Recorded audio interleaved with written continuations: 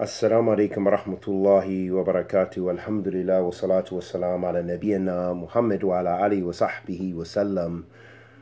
May Allah subhanahu wa ta'ala bless us all with ilm nafi, rizqan tayyib wa amalan mutaqabbilan and bless us and accept this fasting, this holy month of Ramadan that we have reached by the ni'mah of Allah subhanahu wa ta'ala, the favor of our Lord tabaraka wa ta'ala.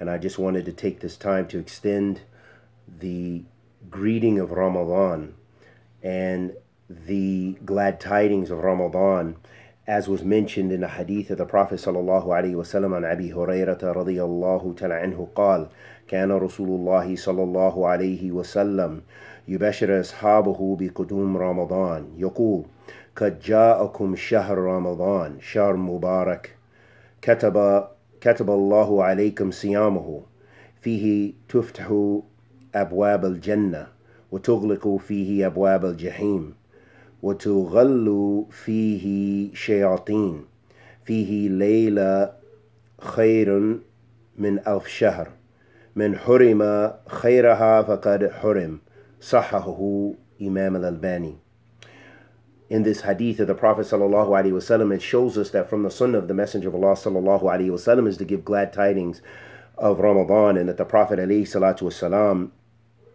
that he used to give glad tidings to his companions, radiyallahu ta'ala uh, about the holy month of Ramadan. And the Prophet sallallahu alaihi wasallam said, used to say that Ramadan uh, has come, the blessed month that Allah subhanahu wa ta'ala has commanded you to fast. And in it, the gates of paradise are opened and the doors of hellfire are closed, and the shayateen are shackled.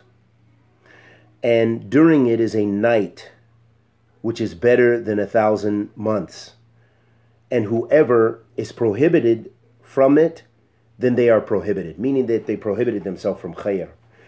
Imam Ibn Rajab al-Hanbali, rahmatullah alayhi, rahmatullah he said, قال بعض علماء هذا الحديث أصل في تهنئة الناس بعضهم بعضا بشهر رمضان. كيف لا يبشر المؤمن بفتح أبواب الجنان؟ كيف لا يبشر المذنب بغلق أبواب النيران؟ كيف لا يبشر العاقل بوقت يغل فيه شياطين؟ So Imam Ibn Rajab, rahmatullahi alayhi, rahmatul wasiyah, he said that some of the ulama have said that this hadith is the, the origin of how to greet the people, how people should greet one another during the holy month of Ramadan. And he said, and how could that not be that the people, uh, you know, that they greet the believer when the, uh, with this great, uh, this great event of Ramadan, when the, doors of paradise are open. And when the gates, uh, and how can we not give glad tidings to the believer uh, when they're, they're uh, or the sinner, that the gates of the hellfire are closed? And how can we, or how can one not give glad tidings to the person of intellect during the time when the shayateen are shackled.